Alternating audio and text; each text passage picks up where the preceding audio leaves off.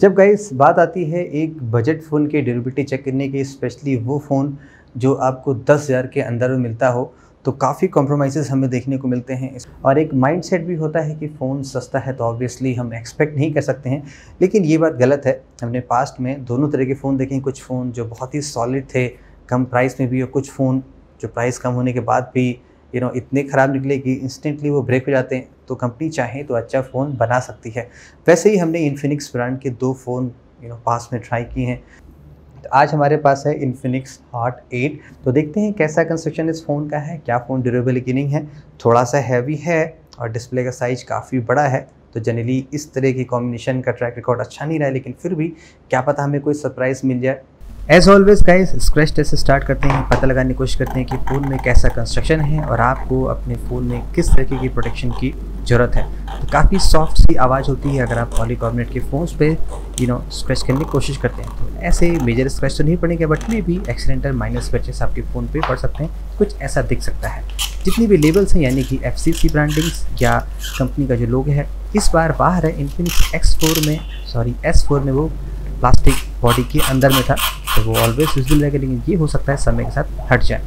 Rear panel कितना thick है, ये भी पता करने की कोशिश करते हैं, जहाँ तक मैंने देखा है रियर पैनल ड्रॉप टेस्ट में डेफिनेटली हेल्प करते हैं। तो यहाँ काफ़ी आसानी से मैं कट कर पा रहा हूँ, यानी कि पैनल उतना स्ट्रॉन्ग नहीं है। जैसे कि रियल मी फाइव हमने देखा था सेम 200 ग्राम का फ़ोन है 6.5 इंच का डिस्प्ले लेकिन काफ़ी थिक पैनल है, बहुत ही आसानी से नहीं कट पा रहा था। तो वो फ़ोन ड्रॉप टेस्ट में पास हुआ था। देखते हैं क्या ये फ़ोन पास होता है कि नहीं होता है। फ्रेम पर हल्का सा एक पेंट जॉब है। तो इस तरह की कंस्ट्रक्शन से मुझे बस यही शिकायत है पहली ये कि ये समय के साथ ज़रूर हट जाती है, मेरे कुछ फ़ोन्स में हट चुकी है। तो अगर कंपनीज़ एक सिंगल कलर का पॉलीकोमेट यूज़ करें प्लास्टिक है, आप पेंट डाल के कलर ऐड करके यूनी बॉडी बना सकते हैं तो शायद ऐसा कंस्ट्रक्शन कंपनी यूज़ करे तो लंबे समय तक फ़ोन आपका ज़्यादा ब्यूटीफुल रहेगा इंस्टेड ऑफ़ ऐसे ब्लैक एंड वाइट या जो भी कलर आप यूज़ करते हैं। बटन्स यहाँ पे प्लास्टिक के हैं परफेक्टली एक्सेप्टेबल हैं, इस प्राइस रेंज में ये भी चीज़ ठीक है। यहाँ पे भी पेंट जॉब है। जो आसानी से हट सकती है। लॉन्ग टर्म यूज़ करने में पावर बटन ऑब्वियसली आप दिन में पचास बार तो दस बार जितने बार में लॉक करते होंगे तो शायद पेंट में से छूटने लगे। लेकिन बटन काफ़ी टाइट लगे हैं, बाहर नहीं आ रहे हैं। पिछले कुछ फ़ोन्स के हमने जो बहुत से ब्रांड के ट्राई किए थे बटन्स बाहर आने लगे थे। तो यहाँ पे कंस्ट्रक्शन अच्छा दिया गया है। ईयर पीस कैसा बना है, ये भी चेक करते हैं। तो ये हार्ड प्लास्टिक है, कोई मैश नहीं है। यू नो पतली सी जाली होती है जो बहुत से फ़ोन में आसानी से कट जाती है, बाहर आ जाता है। लेकिन यहाँ पे एक थिक प्लास्टिक है, जो कि काफ़ी अच्छी चीज़ है इस प्राइस रेंज में। और डैमेज होने के बाद मैंने वॉइस कॉल करके चेक किया था। मुझे आवाज़ में कोई प्रॉब्लम नहीं आई। वॉइस कॉल की क्लियरिटी परफेक्टली ओके थी, जैसे पहले थी। फिंगरप्रिंट सेंसर देखते हैं कैसा है, इसकी फंक्शनैलिटी इफ़ेक्ट होती नहीं होती है। यहाँ पे भी एक पेंट जॉब है। होपफुली द फ्यूचर में सरामिक या प्लीज़ यू नो ग्लास तक का चलेगा। काफ़ी ज़्यादा स्क्रैच करने के बाद भी नया फिंगरप्रिंट सेंसर आसानी से ऐड हो जा रहा है। तो फंक्शनलिटी अभी तक तो ठीक दिख रही है और अनलॉक भी प्रॉपरली हो रहा है। छोटी सी एक रिंग जो है, यहाँ पे वो प्लास्टिक की है। अगर एक छोटा सा मेटल होता मे बी सिल्वर या स्टील जो भी हो तो दिखने में लुक काफ़ी अच्छा हो जाता।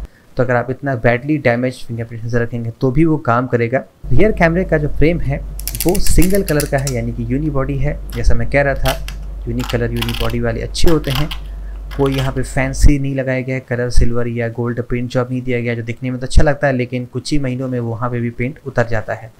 कैमरे पे जो ग्लास है, वो कैसा है, वो भी चेक करने की कोशिश करते हैं। तो अभी तक इन्फिनिक्स के दोनों फ़ोन में हमें ऐसा लगा कि ग्लास की क्वालिटी स्क्रैच की टर्म्स में अच्छी है।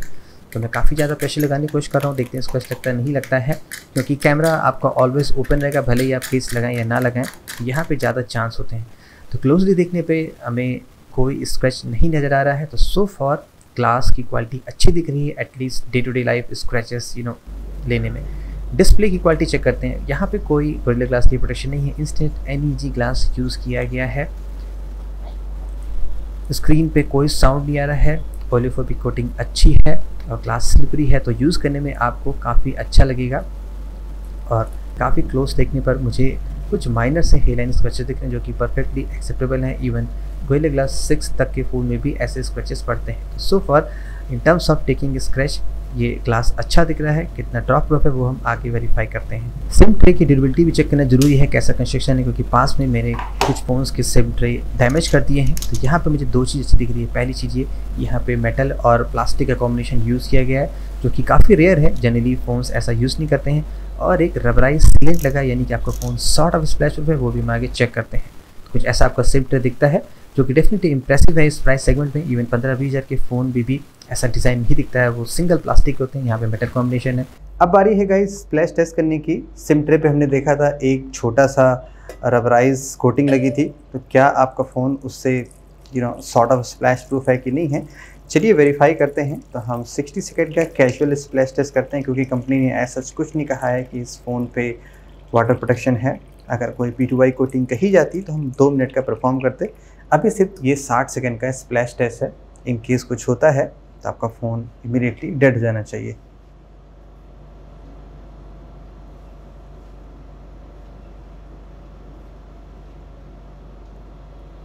मैं एक्चुअली टाइमर स्टार्ट करना भूल गया था।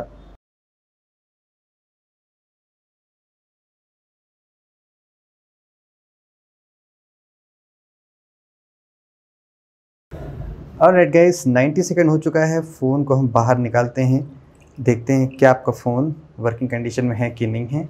फ़ोन तो मैंने क्लीन कर लिया। चलिए सभी चीज़ें वेरीफाई करते हैं। फिंगरप्रिंट सेंसर अनलॉक कर रहा है। पावर बटन भी वर्किंग है।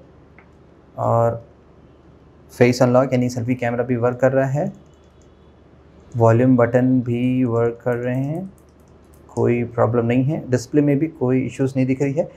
एक रबराइज प्रोटेक्शन लगा है। तो एस कार्ड में कोई प्रॉब्लम नहीं आई है और यहाँ पे भी कोई पानी अंदर नहीं गया यू एस पोर्ट वर्क कर रहा है, नहीं कर रहा है, वो भी देख लेते हैं। बैटरी और ये है अभी चार्जिंग कंडीशन यानी कि यूएसबी पोर्ट भी वर्क कर रहा है। माइक्रो यूएसबी पोर्ट अब हेडफोन जैक का स्लॉट वेरीफाई करते हैं।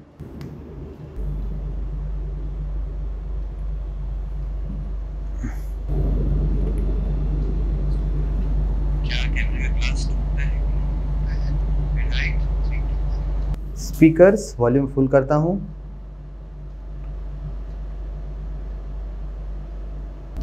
तो स्पीकर्स स्टॉप हो गए हैं, यानी कि स्पीकर्स अब काम नहीं कर रहे हैं। जैसे आपने देखा फुल वॉल्यूम पे है, फिर भी यहाँ से कोई वॉल्यूम नहीं आ रहा है।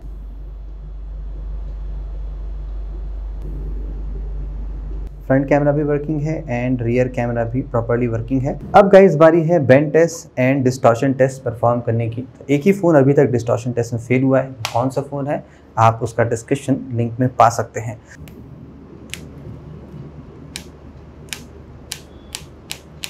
हल्की से कुछ आपको आवाज़ दिख रही होगी क्रैकिंग सी मतलब मे भी कोई पार्ट अंदर रब कर रहे होंगे।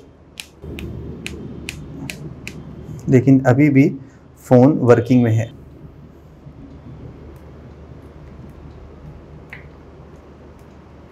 तो यहाँ पे एज सच ऐसा कोई साउंड नहीं आ रहा है क्रैकिंग का।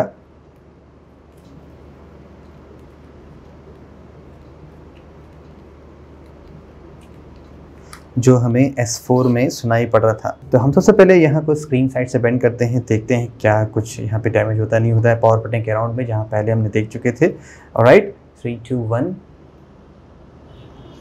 जैसे आपने देखा यहाँ पे ये हल्का सा प्लास्टिक बाहर आ जा रहा है मतलब ये उभर जा रहा है मतलब ये काफ़ी पतली सी यहाँ पे लेयर लगाई गई है। केस बहुत थिक नहीं दिख रहा है। आप दोबारा देखिएगा। अगर आप यहाँ पे देखेंगे, हल्का सा यहाँ पे वॉल्यूम बटन के सामने कुछ प्रॉब्लम आ जा रही थी। फ़ोन में हल्का सा फ्लैक्स आ चुका है। हल्का सा यहाँ पे आप देखेंगे। माइनर सा फ्लैक्स है फ़ोन में, बहुत ज़्यादा नहीं है। तो होपफुली वो चीज़ फिक्स होनी चाहिए अगर हम रियर साइड से बेंड करते हैं। लेकिन डिस्प्ले अभी भी वर्किंग है, कोई प्रॉब्लम नहीं है। ओके बैक साइड से बेंड करते देखते हैं क्या स्क्रीन बाहर आती, नहीं आती है। राइट थ्री टू वन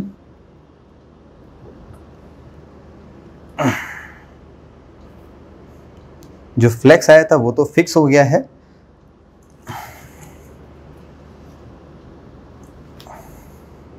लेकिन फ़ोन इस तरफ़ से भी हल्का सा बेंड हो गया। क्योंकि ये पॉलीकार्बोनेट है, इसलिए ये चीज़ें हो सकती है। लेकिन अच्छी बात क्या है, जैसे कि इन्फिनिक्स एस फोर में यहाँ पे क्रैक पड़ गया था, यहाँ पे एज सच कुछ नहीं हुआ है। तो कंस्ट्रक्शन में थोड़ा सा इंप्रूवमेंट हुआ है। अब गाइस अपनी लास्ट टेस्ट पे आ चुके हैं तो उससे पहले मैं आपको एक अपडेट दे दूँ।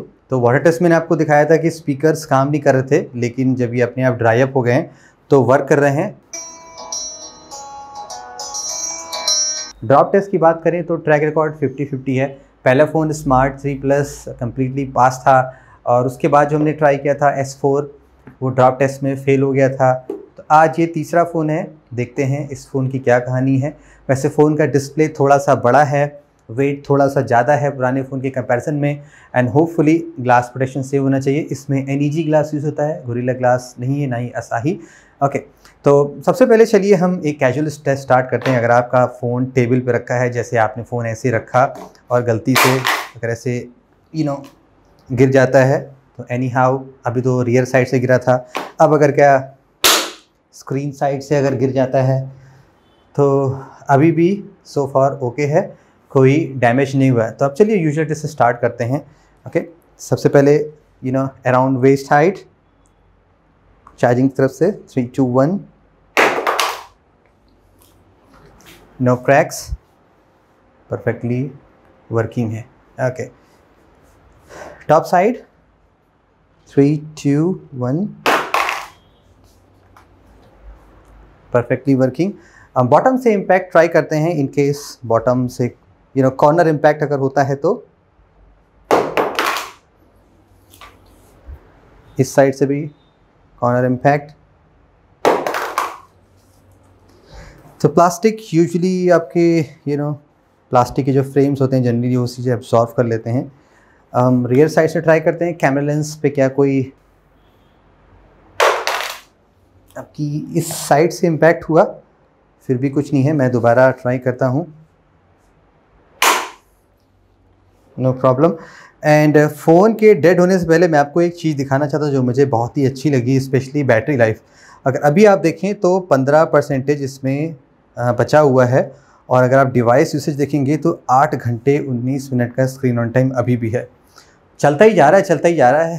तो स्क्रीन साइड से भी ट्राई करते हैं। स्क्रीन से नहीं कराए थे ना? हाँ स्क्रीन साइड ट्राई करते हैं। ओके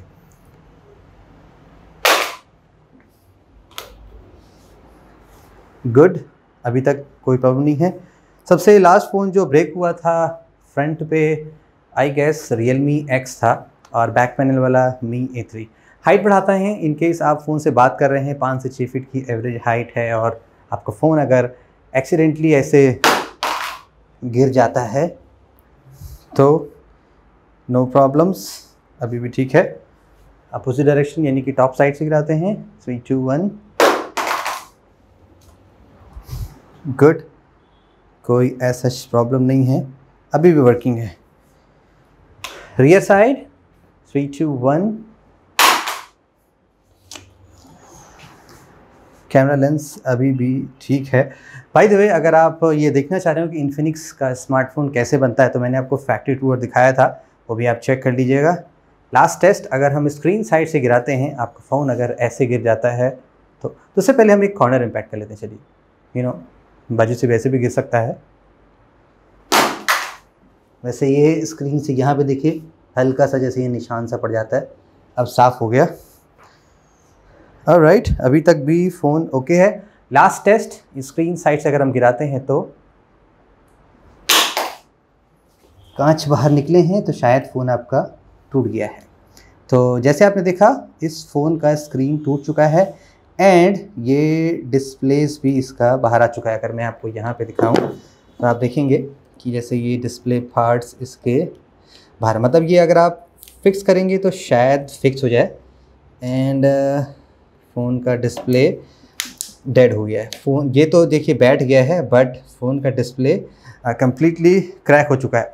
तो रीज़न जो मुझे लग रहा है इस फ़ोन का ब्रेक होने का, वो वेट तो नहीं, क्योंकि हमने ऐसा ही एक इस वेट के कई फ़ोन ट्राई किए जो पास हुए हैं। स्क्रीन का साइज़ बड़ा है 6.52 इंचेस और लगभग एक सौ ग्राम। दो चीज़ें हो सकती हैं जिसकी वजह से इस फ़ोन का यू नो डिस्प्ले क्रैक हुआ है तो। ये चीज़ें फिक्स की जा सकती हैं अगर आप एक अच्छा टेम्पर ग्लास लगाएँ और कंपनीज़ ये चीज़ फिक्स कर सकती हैं अगर हल्का फ़ोन बनाएँ। सो गाइस ये था Infinix Hot eight complete durability test और फुल रिव्यू इसका देख लीजिएगा। मैंने ऑलरेडी बता रखा है क्या ये फ़ोन में फीचर्स प्रोज कॉन्स क्या है। Anyway guys thank you so much have a great day